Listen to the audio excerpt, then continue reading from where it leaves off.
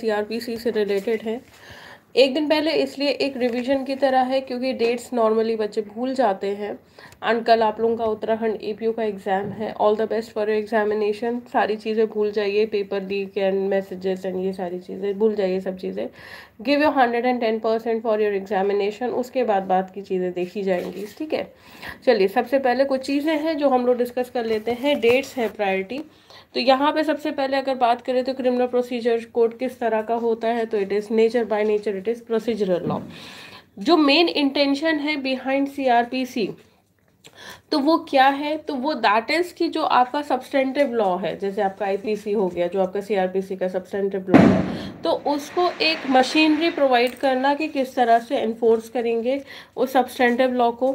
Next आता है कि व्हाट इज़ द एम तो यहाँ पे अगर हम सीआरपीसी की एम की बात करते हैं तो that is to detect the crime arrest the suspected criminals अब ये जो आपके ऑप्शंस हैं, ये कहीं ना कहीं आपके एमसीक्यू में आ सकते हैं तो थोड़ा सा ध्यान दीजिएगा.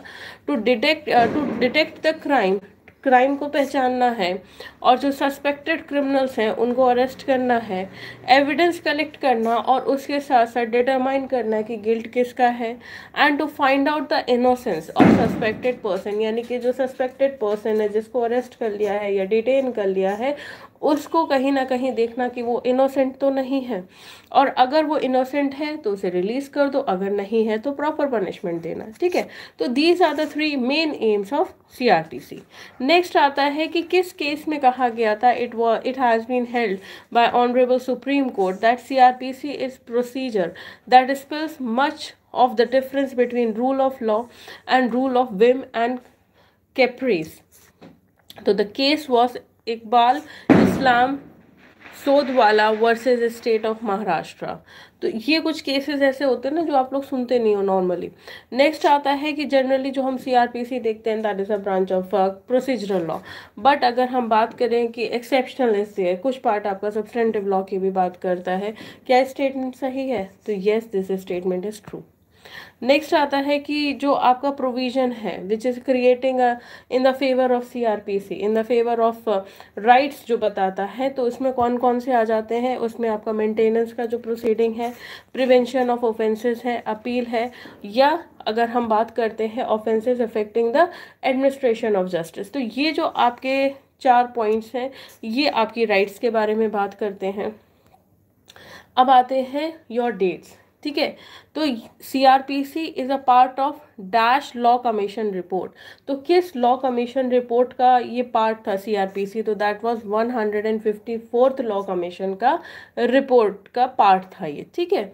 On which date C R P C came into force तो that was first April nineteen seventy four इसके बाद अगर बात करते हैं कि on which date C R P C bill, यहाँ पे हम बिल की बात कर रहे हैं has been pass by both the houses of parliament and received the assent of president यानी कि किस दिन आपका सीआरपीसी का जो बिल था, दोनों हाउसेज में पार्लियामेंट में पास हुआ था और एसेंट ऑफ़ प्रेसिडेंट मिला था तो that was twenty fifth January 1974 next आता है कि किस डेट पे, जो आपका criminal procedure amendment act 2008 which was act number five of 2009 कब वो एग्जिस्टेंस में आया?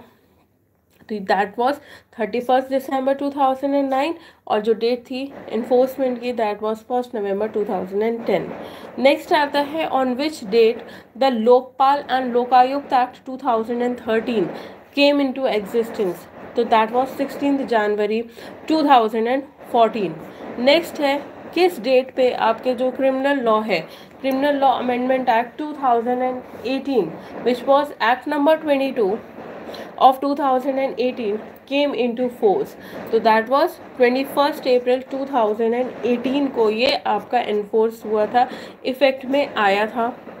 नेक्स्ट आता है कि क्रिमिनल प्रोसीजर कोड में कितने चैप्टर्स हैं? तो the there thirty seven chapters sections कितने हैं? तो फोर एटी फोर सेक्शंस हैं.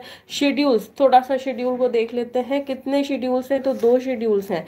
अगर आपसे पूछा जाता है कि क्लासिफिकेशन ऑफ़ ऑफेंसेस किस शेड्यूल में दिया गया है तो दैट इज़ फ़र्स्ट शेड्यूल, जो आपका फ़र्स्ट शेड्यूल है, उसमें क्लासिफिकेशन ऑफ़ ऑफेंसेस दिया गया है।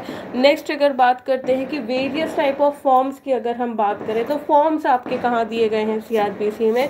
तो दैट इज़ सेकेंड शेड्यूल कितने नंबर ऑफ़ फॉर्म्स दिए गए हैं? That is one two one one two fifty six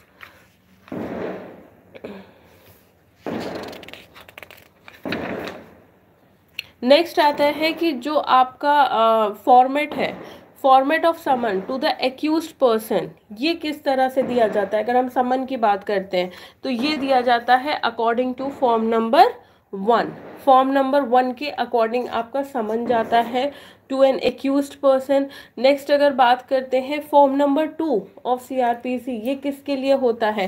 That is for the warrant of arrest form number twelve अगर हम बात करते हैं ऑफ़ सीआरपीसी वो किसके बारे में बात करता है? तो it talks about bond to keep the peace शांति बनाए रखने के लिए बॉन्ड की बात करता है आपका form number twelve. Form number twenty six of C R P C ये किसके बारे में बात करता है? तो it talks about warrant of attachment hello Alok.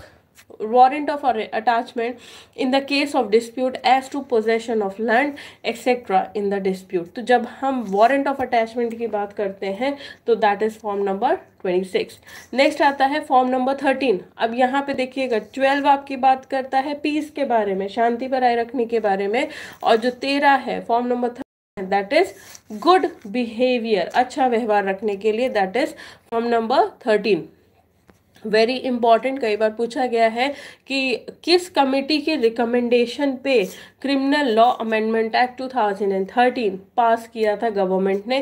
That was justice J S Verma committee report next आता है कि on which date criminal law amendment act 2013 was introduced in Lok Sabha Prema Yadav ji, ये जो आपके हम dates discuss कर रहे हैं या जो फॉर्म नंबर्स डिस्कस कर रहे हैं दे ऑल आर इंपॉर्टेंट ठीक है? हम आपके साथ पूरा सीआरपीसी डिस्कस ही नहीं कर रहे हैं तो यहाँ पे बोल रहे हैं कि जो आपका क्रिमिनल लॉ अमेंडमेंट एक्ट है 2013 का, लोकसभा में कब इंट्रोड्यूस किया था? That was fourth of December 2012 next आता है कि किस इंसिडेंट पे बेस्ड था criminal law amendment act 2013 that was Delhi gang rape case next आता है कि what are the main aim of criminal law amendment act 2013 2013 में जो आपका अमेंडमेंट एक्ट हुआ था, उसका एम क्या था? तो यहाँ पे बात की गई थी पनिशमेंट देने के लिए।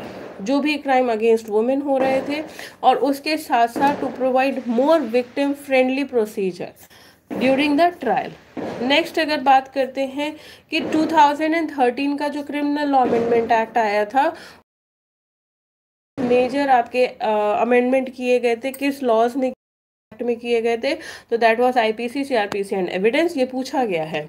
नेक्स्ट आता है जो आपका hello Hina on on which date criminal law amendment act 2013 came into force that was third February 2013 next है कि most of the recommendations of justice Verma committee are incorporated in criminal law amendment act 2013 क्या ये statement सही है? ये पूछ रहे हैं कि जस्टिस वर्मा की जो कमेटी थी, उनके जितने भी रिकमेंडेशंस थे, वो आपके क्रिमिनल लॉ अमेंडमेंट एक्ट दो हज़ार तेरह में इनकॉर्पोरेट किए गए, जोड़े गए हैं। क्या ये सही है? यस ये सही है। इसके साथ में अगर हम क्रिमिनल लॉ के माइनर एक्ट्स की बात करें, जो क्रिमिनल लॉ अमेंडमेंट एक्ट 2013 से अमेंड किए गए थे तो that was POCSO 2012 juvenile justice care and protection act 2000 immoral traffic act तो ये सारे आपके अमेंड किए गए थे.